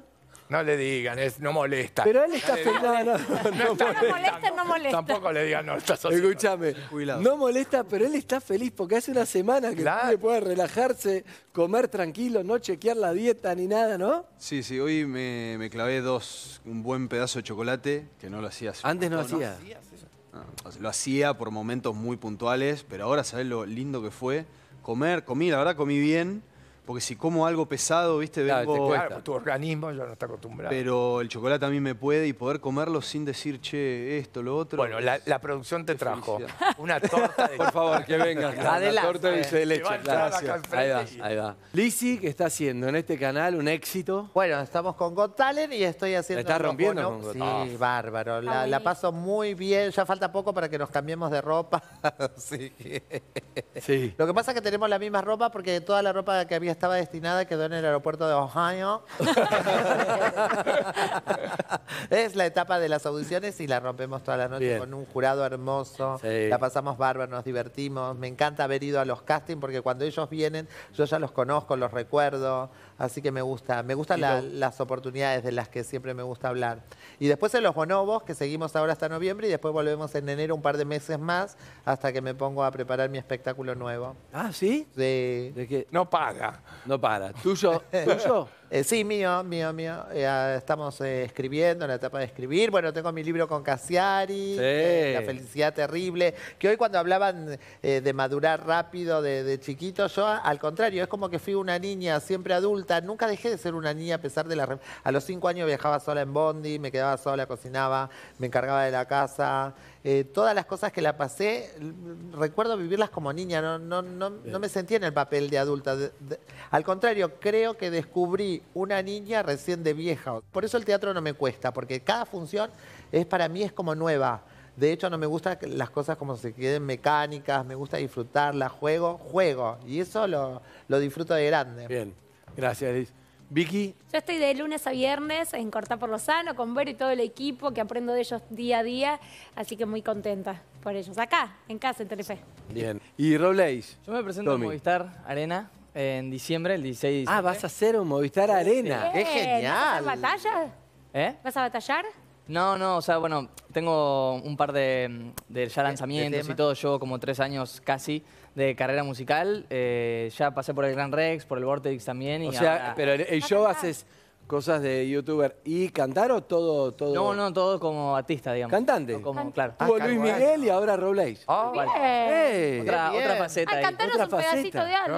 A ver, ¿Te cantate algo, Esa, dale. esa es la verdadera, cantate algo. cantate algo. sí. Qué. Pero un, un hit. No, no, pero cantar así sin preparación. ¿No te animás No, está así? bien, sí, no te- Lizzy te canta. Ah, yo te canto. Sí. que- Yo también. Qué te- ganas de no verte. Eh, nunca más. Es que aparte si Aunque canto, me muera. sale cantar canciones que incluso todavía no salieron y que... Ah, No, las no, termino está bien, hay que spoileando. quemarlas. Las Está bien, termino está bien, spoileando, está pero nada. Bueno, ya pero está la la Arena, entrada, todo, wow, un montón, mucho. Sí. Mucho, espectacular, muy bien. Gracias. Bueno, avancen, hay punto de encuentro. Los que convivieron, esta pregunta es nueva, ¿eh? convivieron con mascotas que no tuvieron un final feliz. Final feliz de, de la ¿Tengo que avanzar? Hasta ahí, ahí, ahí está. Tuvieron mascotas, no tuvieron un final feliz. Bien, Para nada feliz. bien, me gusta. Torto está pensando bien de a poco. Dios mío. Dios mío. Bueno, Vos tenés una mascota. Patina él. Pasó tu mascota para que se re- te revale. eh, voy a arrancar Entraste con. de cabeza el círculo. Bien, voy a arrancar con, con- Pela, ¿usted por qué avanzó? A ver qué tiene usted. No, yo creo que la mía es la menos interesante, pero bueno, tenía que pasar. A ver, porque, dale. verdad. Eh, conviví los primeros años de vida de mi perrita, que era una especie de caniche. Yo después me voy a vivir a Buenos Aires y la venía a visitar. ¿De dónde eras vos? Bahía Blanca. Y se hizo viejita y viste que los perros cuando se hacen grandes y empiezan a dejar de ver, huelen todo. Y en un momento subió a mi habitación, ella siempre eh, tomaba aire en mi balcón y un día decidió no frenar y Ay, No, no. siguió derecho. No. No. Mi casa tiene un segundo piso, tendrá, no sé, ponele, 4 metros, tenía 15 años y cayó, no murió ahí, pero fue el principio de, Del fin. del fin. No, tremendo, ¿cómo se llamaba? Tina. Tina, bien. Ah. ¿Vos, Torto? Una vez tenía una pareja, perdón, y un conejito y me pidió, "Mm, hay un conejito, un conejito, el conejito, el conejito. Lo terminé cuidando yo, me vine a casa, vine con el conejito. En ese momento había un gato y un perro en casa. Y el conejito, un conejito blanco, se adaptó y el conejito iba por todos lados y comía y comía y Los comía. cables. comía cosas. No, y en un momento se fue como al jardín y lo veo quietito. Digo, ¿qué pasa? Que pues se lo había. Y estaba todo hinchado así. Se había clavado o un pinche o algo. Uh. Y ahí me entero, ha pasado un año, ya me estaba encariñando. Y, y en un momento, eh, porque yo me encariño después del año. Ok. A, mí, a mí el primer año no me, Nada, no, perfecto. no me pidas un te quiero el primer No, año. Es Pero reconocimiento. estaba casi en el año. Y ya estaba ahí y lo veo así. Y ahí empecé a, a llamar. y yo, No, los, los eh, conejos son muy delicados. No se los puede operar, no se los puede anestesiar, se mueren de cualquier cosa. no. Y, ¿Qué tenía? na- y se había clavado algo y no se lo podía sacar. Un conducto. No. Y cuando en un momento vamos a la veterinaria, le saca y salió toda la pus y se la aflojó y dijo, ¡ay, el conejito! Llegó a casa y hizo ¡pum! No. Ay, no. No. Lo enterré en el fondo de casa. Bien. También, Durito. tuviste también, sí, sí. Tuviste, Sí, durito quedó tuviste porque un pavo de. No, tuve dos pavos reales. ¿Dos pavos reales? Sí, casa? que me regaló ¿Casa? un amigo. En realidad me los regaló y me dijo, los tenía que llevar al campo al otro día. Y a la noche los pavos quedaron ahí. Yo los dejé un poquito en el jardín, es un jardín chico. Pero dos pavos reales. Así, una blanca. casa en Palermo, un pavo Claro. real. Y a la mañana yo no sabía cómo reacciona un pavo real. Y a la mañana empezó. Me de, cinco de la mañana me desperté ¿Y? y estaban reaccionando. Claro, estaban despertando así, se despiertan. Sí, sí. Los agarré, los metí en la caja, una caja que había ahí con un agujerito, los metí en el Ah, auto. eran chiquititos. ¿Qué, qué chiquititos así? Claro, no, no, ¿Qué pavo real enorme. reales. Ah, sí, no, claro. los metés, Bien. los achicás. Bien. Nunca te metieron en un baúl. No, yo no. Yo no. Ah, Está no, portando Pero mal, conozco. la del baúl. Sí. Te ¿Qué ma- enterran en el corazón. ¿Algo más? ¿Algún animal más tuviste? Ah, animales tu montón. ¿Gallina tuviste Pero, también? eh, gallina tuve. Sí. Eh, Norita, que también era. en el- ¿Norita? Norita, porque en el campo había. eh, Me habían regalado 12 pollitas, 12, eh, 12 gallinitas las ponedoras. ¿Y? Y me las llevé y yo ya tenía un gallinero. Cuando las llevé estaban todos asustados ahí, ¿no? Y veo, los contaba. A la mañana voy, cuento y faltaba uno. Y entre el, eh, la huerta veo en- al lado de un zapallito un pollito. Digo, ¡ay, ahí estás! Cuando lo agarro, le faltaba todo un Ay, pedazo. no. Y entonces lo agarré ¿Y qué había pasado? y no, se le veía todo lo de adentro. Lo había agarrado, un animal le había metido la mano, eh, la mano, la pata, la garra, y le sacó un pedazo y después se fue. Un zorro. Oh. Y entonces lo agarré, la agarré y dije, bueno, va a morir. La dejé ahí al sol Oh. y me miraba, y yo me miraba y yo le llevé agua, tomaba agua. Le meto para comer, toma. Y yo dije, no, lo llevo al veterinario. Y lo llevé al veterinario, le puso Perminox y azúcar, me dijo, va a estar sin una pata, no va a tener una pata, pero tiene todo lo de adentro y todo. Y me llevé un animal lisiado a casa. Cinco años duró. ¿Cinco años? seis- Un y montón. Ya, ya la otra pata no le andaba. No, está bien, está bien, está bien, ya Ya, entendí. así. Ay, pobrecito. Me va a hacer llorar a mí todo. Es como a mí, a mí me ven así, me sacrifiquenme. ¿Dobláis? Yo, bueno, parecido con lo de los conejos. Eh, ¿Qué pasó? Porque tenía un 6, 7 conejos más o menos. Ah, ¿en tu casa? Eh, sí, yo era muy chiquito en ese momento. ¿Dónde- no, es dónde algo que me pegaba mucho. ¿De dónde eras? Eh, no la barría. Sí. Y teníamos una máquina de cortar el pasto, no la típica bordeadora, sino la que vas como cargando, le vas sacando la bolsa, vas tirando el, el No pasto. no sé si quiero una seguir la cuchilla- historia. Ay, no. Ah, Cortaron Y tiene la, y tiene la cuchilla abajo, ¿viste? La, la máquina de cortar. A la máquina, sí.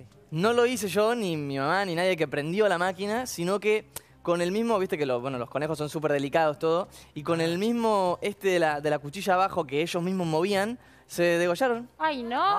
Claro, porque- Dobláis. Ay, se- Tal vez era un suicidio en masa de conejos. Ay, porque no. se pusieron en la cuchilla y ya taca, taca, taca, taca, y se fueron sacando. La verdad no sé, pero aparecieron Pero todos así solos. muertos en Ah, la, en solo, la- no estaba abajo de prendida la de máquina. máquina. No, solo, solo, no, No, estaba si era prendida la máquina. prendida, ¿sabes qué? O sea, fue un momento en el que nos fuimos a dormir, nos levantamos al otro día y a la mañana habían encontrado a los No, es conejos. tremenda esa historia. Es que vos tuviste una tortuga. Esto. Sí, cuando era muy chiquitita. ¿Pero qué pasó? Cuando era muy chiquitita la tortuga, la historia de la tortuga. Esa fue un recu- más recuerdo para mí. Porque yo cuando era chiquitita, la tortuga, viste que hiberna, mete todo para adentro. Sí. La, la cabeza, las patas, eh, las manos. El todo. caparazón. Claro. Y el caparazón parecía un alfajor. No, Entonces no. yo cuando era chiquitita pensé que era un alfajor y lo mordí. La tortuga se asusta y me hace pis en la boca. Para mí me rompió los dientes porque era durísimo. No era un alfajor, era la tortuga. Una anécdota. Una anécdota. Nos quedamos así. O sea, con una. Pero esa Ahora, ahora entendemos los dientes impecables. Ahora ya hasta agradezco a Tauceo. Con el tiempo me hizo las carillas. Lizzy, vos tenés Bueno, no? yo imagínate con 174 animales todas las historias que tengo, pero ya con esta es súper Bien, interesante. Ya me parece. Volver a sus lugares. Muchas gracias. Muchas gracias. Avancen, hay punto de encuentro. Los que lucharon por su imagen. Bien, bien, voy a, voy a arrancar por Vicky. En, la adolescencia, en- para mi imagen era todo lo que se veía más por fuera. Evidentemente era una inseguridad mía. Y yo me quería. Me, me- empezaba a debutar en el teatro como primera vedette, era un gran sueño, pero yo de chiquita en el colegio sufría mucha, mucho bullying, me cargaban mucho, que tenía dos patas de palo, entonces era como que sentía que mi cuerpo no podía llegar a debutar como una primera vez siendo tan chiquitita, sin tener como carne, tan... Entonces yo me preparo, empiezo a entrenar, empiezo a comer un montón, montón, montón, llego a, agrandarme, pero me había quedado una adiposidad localizada en la, en la panza. Y ahí es cuando caigo, bueno, lamentablemente en este cirujano hoy tan... que no lo quiero llamar cirujano, Ah, lo toqui, sí. Y, confío en él, diciendo que me, va, que me va a dejar divina, confías en el profesional, te hace sentir como que voy a estar re bien. Y, y confié, me había sacado un poco de adiposidad, cuando me desperté me encontré con otras cosas que yo no había pedido. ¿Pero qué quiere decir como cosas que no había pedido? Abusa, abusa de los cuerpos de la persona. Para él hace lo que quiere y te pone lo que quiere. No te dice lo que te va a hacer ni lo que te va a poner. Era otra cosa. Y la verdad que lamentablemente con el tiempo despierto de todo esta de toda esta fea situación que viví, porque en su momento cuando despierto me había visto esta más linda, era como el cuerpo que tanto soñaba. Debuté, lo pude lograr, pero hoy la verdad que me arrepiento un montón. Y hoy después de, de- con este, de este tema tan público, lamentablemente, después de lo de Silvina, eh, que me asustó un montón, a, to- claro. a un montón de pacientes y víctimas de este asesino. Eh, me hice estudios, gracias a Dios me salieron bien hasta el momento, pero bueno, es la preocupación, me, me estudiaron algunas partes del cuerpo, prefiero no exponerlo porque yo no denuncié. A mí me juega también en contra que yo esto pasé hace más de 11 años y el tiempo también es un enemigo para denunciar. Yo lo único que hice, llamé a burlando y decirle, Fernando, Si mi testimonio, mi relato sirve para, para ayudar a otras víctimas y que se haga justicia, contá conmigo. Si no, a mí me da vergüenza también exponerlo, prefiero que no se sepa. Por vergüenza también no lo conté. Sí, lamentablemente pasé por él. Yo había visto otro cuerpo que también trabajaba conmigo en el teatro y dije, yo quiero quedar así. Pero hoy entiendo Ahí que- ella te dijo, no sé quién es, Sí, es pero que ella te todos dijo. pasaban. Y la verdad también, eh, era, eh, y él también te buscaba, te engatusaba, porque venía, me decía, te voy a dejar divina, y tampoco te cobraba. Claro. Es que te quería promoción, subía las historias, y vos confías en el profesional. Hoy la verdad que, que lo veo totalmente distinto, me arrepiento, confío en una persona que, bueno, hoy somos un montón de víctimas y ojalá sea ¿Llegaste a hablar con. Silvina del tema? Eh, no, no llegué a hablar del tema, eh, hablamos de otras cosas, pero no, no hablé de esto. Ella también trataba de soltar mucho porque lo sufrió un montón. Ella el último tiempo estaba con muchísimos dolores. ¿Te da miedo eh, la situación que, que pasó Sí, Silvina? claro. que pasa? No, Claro, estamos hablando de un producto que es un veneno, estamos hablando de un asesino y estamos hablando que los cuerpos reaccionan y hoy hay un cuerpo que habla, que ojalá se haga justicia. Igual está bueno también meternos ahí de que, de que puedas decirlo esta, mucha gente está mirando, que hoy te arrepentís más allá de con quién lo hiciste, hay algo que para sentirte linda, hermosa, no necesitas... No necesitas, no, no, ¿No? me parece que todo es psicológico.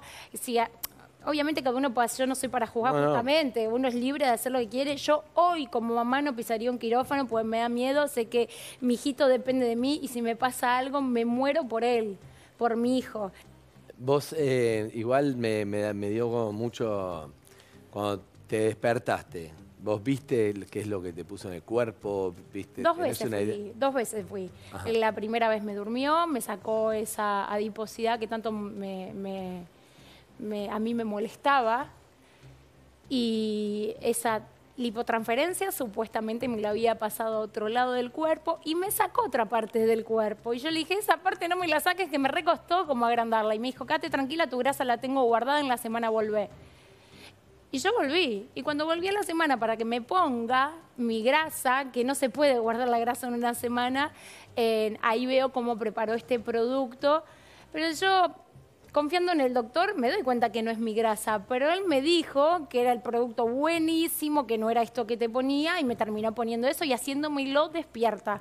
Había agarrado un, un polvo, era una bolsa de polvo, tenía un, un aceite, lo mezcló, se hizo tipo leche y ahí fue donde me cortó, me puso anestesia local y me con una cánula. Las cánulas, no sé si, si sabes, es como una jeringa con una, una aguja, pero no tiene punta. Te cortan y te meten la cánula y ahí introduce este, este veneno, que es tan peligroso porque no está apto ni en la ANMAT ni en ningún lado. Es, es fabricado por él. Ojalá que, que- que sea justicia. Ojalá. ¿Cómo está tu hermana?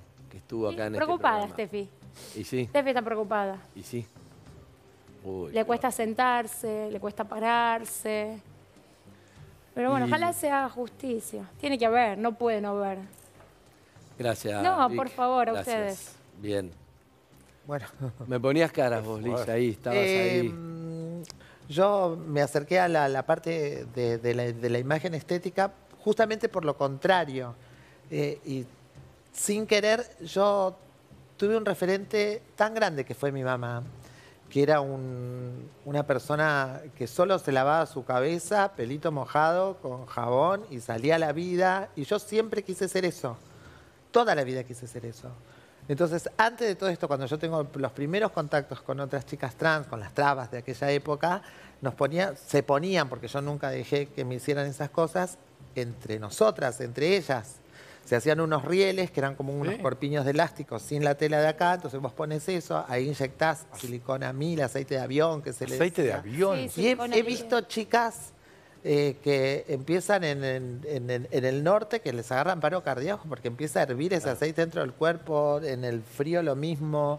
eh, es, es como esa lucha por ser la más linda o lo que eh, y, y a la vez depositar confianza. Porque de eso se trata. Y en la etapa más cercana ya de este, de este señor que estás hablando, eh, por supuesto que todas son víctimas, pero de alguna manera también somos un poco los comunicadores y los que llevamos a eso, ¿viste? Porque mm, eh, miles de veces me han invitado a, a ese tipo de cirugía porque yo no pertenezco a la parte más linda de la sociedad o porque la gente cree. Pero yo me defendía y he me he peleado con Marianito porque digo, no me quiero hacer nada. Yo a mí yo quiero ser así, a mí me gusta, o sea, yo peleé mm, por mi estética y por mi forma de ser desde el otro lado. Hoy hablaban de la aceptación y yo pensaba, todo, todo al revés viví mi vida de alguna manera, porque una vez una, una compañerita mía me dijo, eh, yo lloraba mucho porque me espera, yo sona- eh, sonaba el timbre del colegio y no quería salir porque era caminar dos cuadras y que me caen Sí. a palo los chicos. Era como, era un hobby. Entonces yo 12 menos cuarto ya era como una cosa que no quería vivir más porque ya sabía lo que se venía. Y me acuerdo que una chica que se acerca una vez, y Mónica Escobar, me acuerdo y me dice, yo te acepto como soy. Y eso como que me, como sos. Y eso me cambió la vida. Y yo fui con una alegría tan grande a mi casa. Me, me había sentido importante en un momento, ¿entendés? Como digo, wow, soy importante para alguien después de todo lo que, lo que me sucedía. Y cuando llego le digo, mamá, estoy re contenta, es el día más feliz de mi vida. Siempre fui muy teatrera, yo muy novelera, todo, todo es actuado. Y mi yo le digo, ¿qué te pasó? Me dice mi mamá. Y, y le digo, "Eh, mi compañera Mónica me dijo que me acepta como soy. Ella estaba haciendo Borí, no sé si saben, no me lo olvido nunca. Se da vuelta, me mira con un- una especie de escoba que era como el palo con el que revolvía. Y me mira y me dice, ¿y quién es Mónica para aceptarte como sos? Ella te preguntó si vos la aceptás como es ella. Claro. Ay, mi amor. Y yo dije, pero yo vine contenta esto. Y otra vez me empezaba a replantear todo el tiempo. Ella como que me hacía ver que las cosas dependían bueno. de mí. Claro. ¿Entendés? Bueno, pero tu mamá se las arregló Se las con. Entonces con yo las herramientas que tenía para... Yo amo todas las estrellas de la televisión, siempre las amé. O sea, me crié mirando televisión. Podría hoy hacer una, una revista de la que vos quieras, toda, de la primera hoja hasta la última, Sí. porque la sé de memoria. Los programas de televisión, todo. Las propagandas, todas. Bien. Pero nunca quise ser eso, siempre quise ser mi mamá. O sea, quería ser como ella, ¿entendés? Eh, Claro, siempre quise ser así, me Hermoso. parecía como Y hermoso. lo logró. Y lo lograste. Auténtica no hay. Sí, son lo más, Lizzy. Gracias, Liz. Bueno, mucha... Para, y pasó, pasó Tommy, Yo ¿no? más que nada por el tema de lo que es la, la lucha bueno, con la imagen y todo, es por cómo la otra gente me percibía en su momento cuando también me estaba dando a conocer, que fue mucho en la adolescencia, que claramente uno está creciendo, se está divirtiendo, está haciendo lo que le gusta, y que en ese momento, bueno, hacía un humor un poquito más exagerado, una... Mi forma de ser también estaba como muy, muy, muy exagerada, de un altereo acá arriba. Y es muy normal que, bueno, en el mundo del entretenimiento, del artista y todo, la gente cuando te ve por internet es como que ya asume que lo que vos estás mostrando es como vos sos, ¿viste? Entonces, eh, yo creo que la lucha con la imagen es el, la lucha constante que, bueno, tenemos todos en cierta parte, eh, de todo el tiempo tratar de ser vos mismo. Entonces, siempre traté como de mantenerme Los pies en siendo el yo mismo y, y transmitiendo lo que quiero transmitir, obviamente. Bueno, eh, vamos a ver un momento hermoso, pero déjeme decirles antes que eh, en los ositos va a haber un gran premio. En vez de muchos premios, hay un gran premio y se lo lleva. Volvieron los autos para cada uno. Alguien se lo lleva sí o sí. Yo, me quiero Sí o sí, algo. no es que no, bueno, quedó vacante. yo, No, Uno yo. de ustedes se lo va a llevar, ¿ok? ¿Pero qué nos podemos quedar toda la noche? Se quedan toda la noche, pero alguien se lleva la moto. Alguien se lleva la moto, ¿ok? Bueno, en este momento entonces vamos a hacer No Podemos Hablar. Lizzy se va a sentar acá. ¿Voy? Siéntese, sí. Los demás esperan ahí. Esperan ahí todos juntos. Ahí está. Y vas a cerrar los ojos. Cuando yo te diga los vas a abrir y te vas a ver con alguien. Y lo importante es que no pueden hablar, no pueden darse la mano ni nada. Bien. Lo mismo el que se va sentando, ¿no? ¿Estás preparada, Liz? Sí. Arrancamos.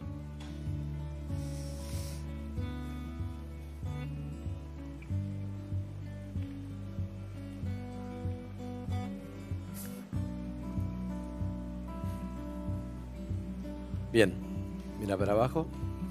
Gracias.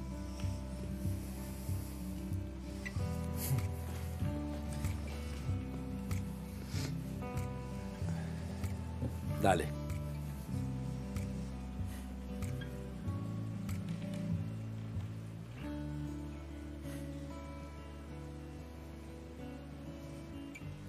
Gracias.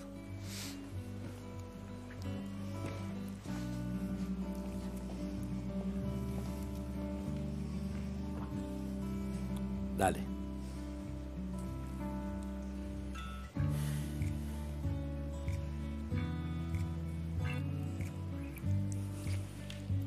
Gracias.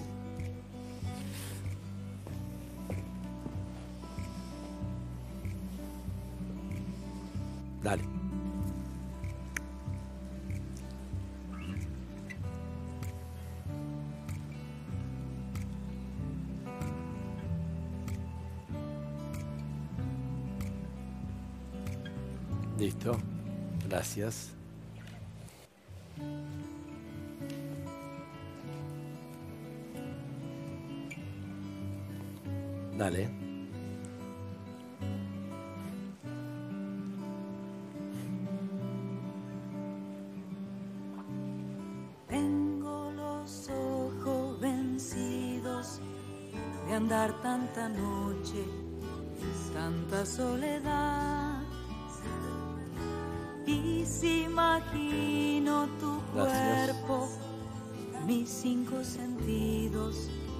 Se despertarán.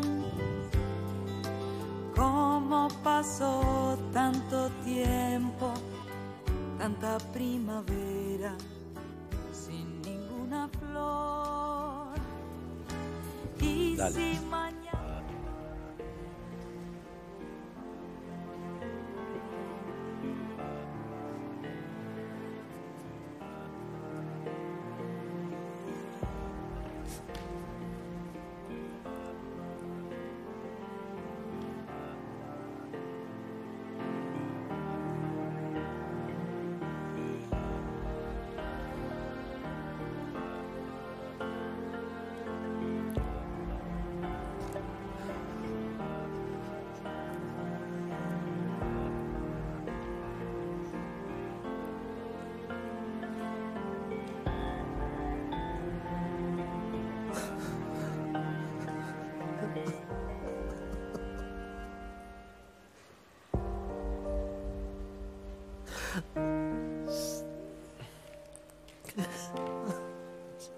Se pueden dar la mano.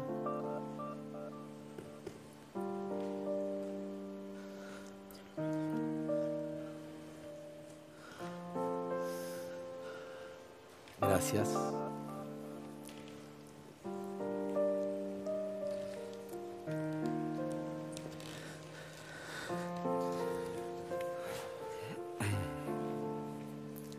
Ahí vamos.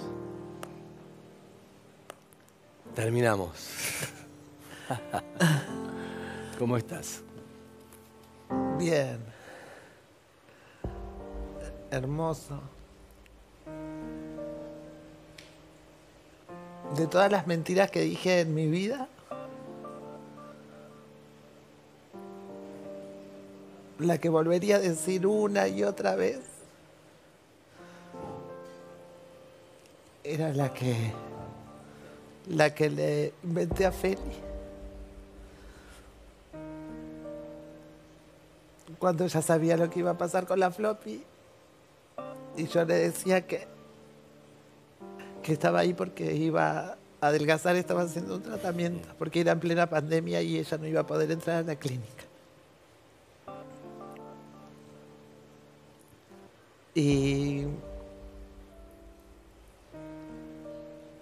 si pudiera concederle el deseo de dar esa comida que no le pudo dar porque después de cuando iba a ir a visitarla ella la preparaba con la comida preferida. Todas las comidas eran preferidas de la flor, Bien. pero la de su mamá era la comida. Y ese día que se preparó, si mal no recuerdo era un miércoles, le, doli- le empezó a doler la panza y se fue al médico y de ahí eh, ya nunca más No volvió. pudo volver. Generalmente lo- dejamos este momento para la mesa, pero me parece que amerita que les pueda dar un abrazo, Ah. que vi que tenías mucha- muchas ganas con esa cara de, de, Para. de bueno, ahí está. Hola, Feli. ¿Cómo está, Lizzy? Qué sorpresa, ¿no? Ay, Dios mío. Salí de mi cueva porque es por vos, si no, no salgo. Te quiero. Yo también, mucho. Sabes que la floppy siempre está. siempre está con nosotros. Está contigo en todo tu programa. Está contigo, conmigo. Yo me siento que siempre está, que siempre está al lado mío. Mm. Si estoy durmiendo, cuántas veces se, se Yo le me gustaría aprovechar este momento. Mira, nunca se lo hice. Viene a casa, me trae sopa paraguaya, comemos. Para la floppy nada fue de sencillo y Feli la acompañó mucho. Yo, es Fabián, ¿no? Sí. Por ahí. Eh, Yo la convertí en la floppy porque es como una anécdota que tenemos que yo decía que yo era Araceli González y ella era Bien. Florencia, la hija, y entonces le quedó floppy. Pero mm, se liberó. Nunca vi a una persona disfrutar tanto en tan poco tiempo.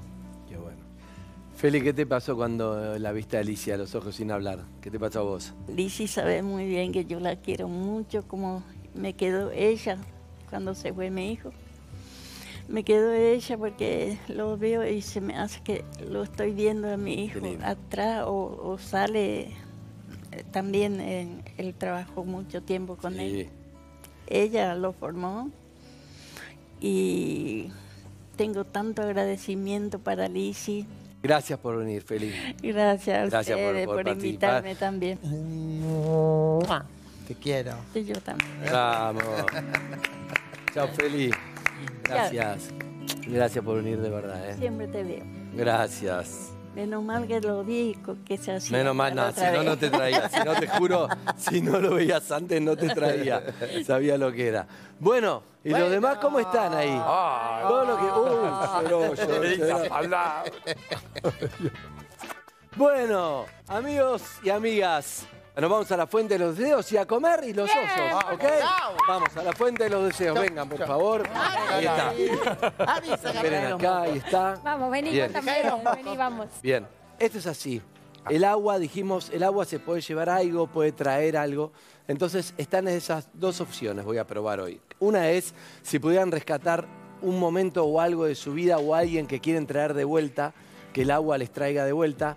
O la otra opción, si alguno quiere, es qué te gustaría que se lleve el agua también. Pues en recuerdo una persona, un momento, algo que tenés y que no lo querés tener más también. Cualquiera de las dos pueden elegir. ¿Quién va a arrancar? Yo voy a arrancar. Bien, Humberto, me gusta. Rápido a la mesa. No, pero tengo un hambre.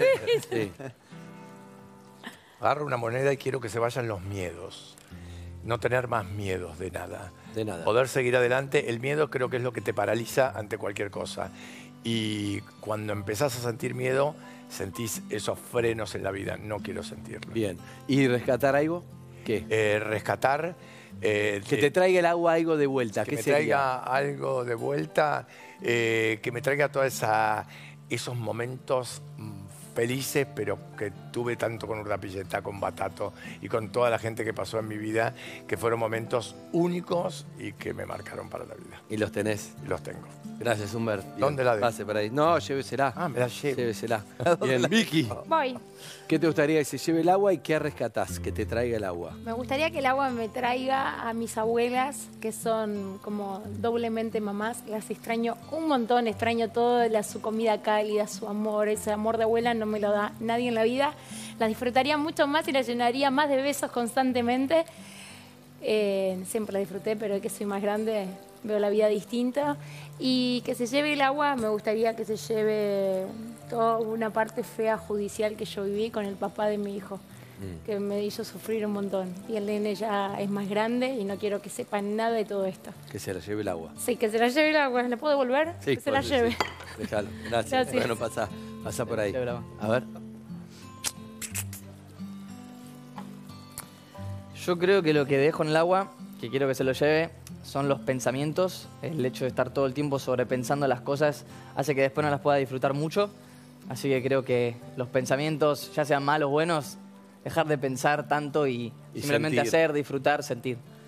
Y algo traer, yo creo que no sé si es tanto traer, sino mantener siempre la conexión que tengo con mi familia, mis hermanos, eh, que a pesar de lo que hago, a lo que me dedico ahora, como mi carrera de artista y todo, que es- me aleja bastante de las personas muchas veces por la profesión o por los objetivos o por qué tan grande querés llegar, eh, hace que a veces Y un no tenga recuerdo, tanta- un recuerdo personal, un recuerdo. momento de tu vida que digas, estoy para traer de vuelta este momento. Yo creo que cualquier viaje en familia que he hecho, eh, creo que son lindos recuerdos, la pasamos siempre muy bien y a día de hoy no lo hacemos tanto, entonces creo que ese sería un, un lindo recuerdo que traer. Gracias, gracias. Tomás. Yo también la dejo. A ver, Guido. Eh, que traiga tantas cosas, eh, pero a lo largo de mi vida me di cuenta que lo único que no podés traer de vuelta son a los seres queridos, entonces me encantaría que esté mi abuela de nuevo, que falleció el año pasado, que fue como mi mamá. Eso es lo que más deseo, entre, entre otras cosas, y que se lleve un poco en la, la tónica de ellos, las incertidumbres, los miedos, y en especial en este momento mío que arranca una ¿Cuál? etapa completamente nueva.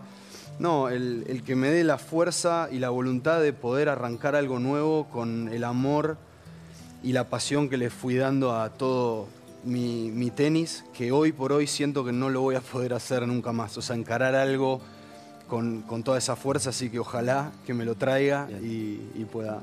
Gracias, pueda estar mejor. gracias, querido Guido. Liz. Ay, qué, pero Dios mío. Me gustaría mm, traer eh, por un día a mi mamá, pero no ahora. Por un día ya por el año 78 y, y tener una mesa llena de comida. Y que podamos reírnos como lo hacíamos siempre, a pesar de las necesidades, pero que pueda tener ese banquete que nunca lo puedo tener, pero no solo por la comida en sí, sino por la felicidad en sí. Bien. Yo aún creo que mi mamá era feliz por mí, pero nunca ha podido ser feliz por ella misma. Y quiero que se vayan mm, mis malos pensamientos y mis prejuicios. Está bueno. Gracias, Liz. ¿Vamos a comer? Vamos. Dale, por acá entonces.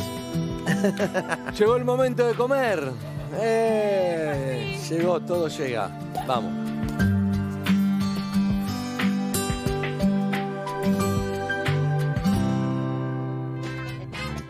Llegamos al momento de la comida. ¿Cómo estamos? Ay, Acá, no, ¿Cómo mal, vamos, mal, Humberto? Bien, con muchas ganas de sentarme a comprar cosas.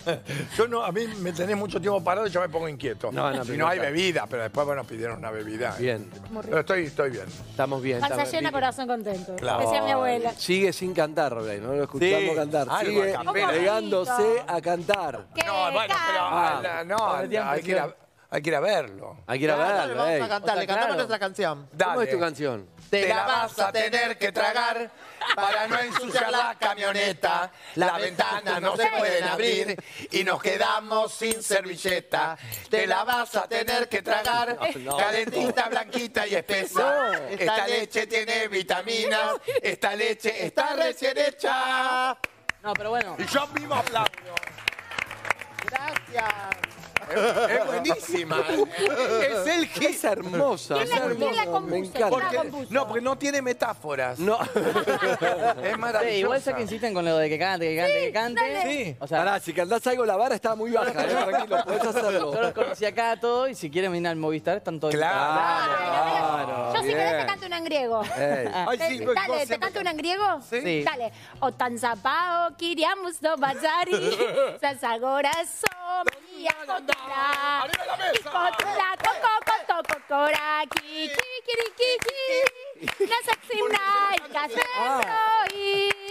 Eh, aplausos. Ey, Es un disco de Yuya al revés. Andá a Es chequear una canción de granja. Bien. El gallito, cocorocó y kiki. Eh, ¿Va a cantar algo, Guido? No, que usted. ¿Qué va, Guido? Está ahí la onda, vos. Era unos abdominales, algo, Tenés que ¿no? cantar. No. ¿Querés- No, No. Nada. no. no Eh.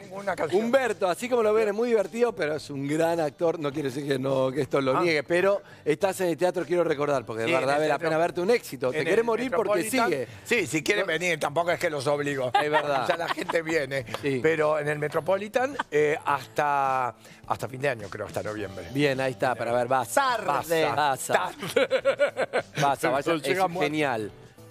Victoria está con Vero Lozano sí. en Telefe. Y en noviembre empieza una obra de teatro. Ah, ¿cuál? Sí, que, que quieren que la dirige y la produzca yo, así que bueno, Ah, seguramente ¿cómo le voy se a pedir a, mis Ah, amigos. sí. ¿Cómo se va a Yo creo que es monólogo de las mamis. No. Cuatro mamis, tipo diferentes, viste que todas las mamis son distintas, Sí. y un bebé que estoy viendo ahí quién puede ser. ¿Quién hace? Acá lo tenés. Un bebé sin trabajo. Así que estamos, es- estamos produciendo una obra, es, es corta, es un mes, así que me, inter- me interesa. Creo que ya mucho. levantan, si ni arrancó. Duró un Porque, mes justo, porque... porque justo, justo está eh, la obra de teatro un mes, los, sá- los Ah, viernes ok, y sábados. bien, y, bien. y me copó la idea. Bien. Robley, que va a estar en Movistar Arena, está. Eh, Yo los monobos en el Teatro El Nacional.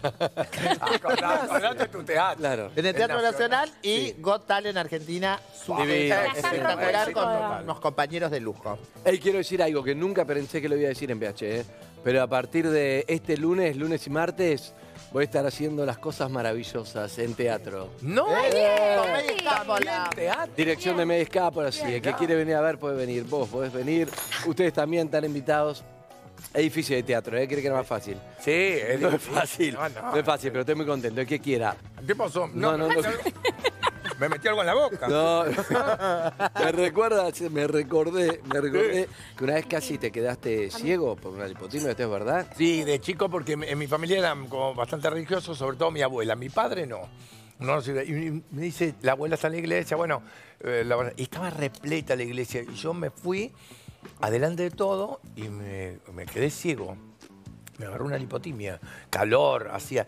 Y yo le dije a una que estaba al lado, le digo, mirá, me quedé ciego. Ay, ¿qué? Y me dice, y mi abuela, decía que eran creyentes todos. Si no me dicen, salí de acá, andate para afuera, porque Claro, está como inventando. Claro. Y todo, nadie se, estaban todos sentados, más todos los que estaban parados alrededor. Me llevan al lado de mi abuela y, y le digo, ¿qué pasa? Me dice, esto, me quedé ciego. Y me dice, siete años yo tenía. Y me dice, arrodillate y reza. No, En vez de decirme, sacar a la... claro. Yo me arrodillé y se me apareció, se me apareció el Cristo así. La primera imagen que tuve. Y si después de ello no era creyente, ya no sé. ¿Te recuperás? ¿Volviste a ver? Sí, era una sí. Y sí veo. No, en ese momento, boludo, en ese momento. Sí, volví era una Y lipotimia. entonces fue Cristo. Y fue Cristo. Ahí me tendría que haber hecho súper creyente. ¿Y qué te pasó? Y, y- No, ¿qué y dije todo lo distinto. Anda a saber qué me pasaba. Claro. Con, con oscurita, después Claro. me denunciaban como... Viene 네, 네네.